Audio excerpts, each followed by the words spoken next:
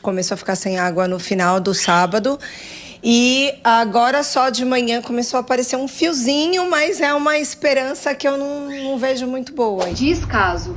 Essa é a palavra que melhor descreve não só o corte de água que a gente enfrenta nas periferias cotidianamente, mas também a forma como a Sabesp vem tratando nossas comunidades. Já faz muito tempo que eu venho lutando contra isso. Inclusive, eu e a minha equipe fizemos um levantamento que mostra que todas as regiões periféricas da nossa cidade são afetadas por essa política discriminatória. Esse levantamento, as notas técnicas que produzimos, as soluções que nós apresentamos, tudo vem sendo categoricamente ignorado pela Sabesp. Quando não encontramos esse retorno, começamos a falar com quem é responsável pelo saneamento, com quem deveria estar fiscalizando esse contrato, que é a Prefeitura de São Paulo. Aqui também nos deparamos com grande nada. A resposta formal da Prefeitura, que eu inclusive já mostrei para vocês, é que de fato eles não têm nenhum técnico e não fazem nenhum tipo de acompanhamento. Ontem, domingo, nós ficamos o dia inteiro sem água na Zona Sul. Na minha casa e em muitas outras, a água não voltou até agora. Tem residências que estão desde sexta-feira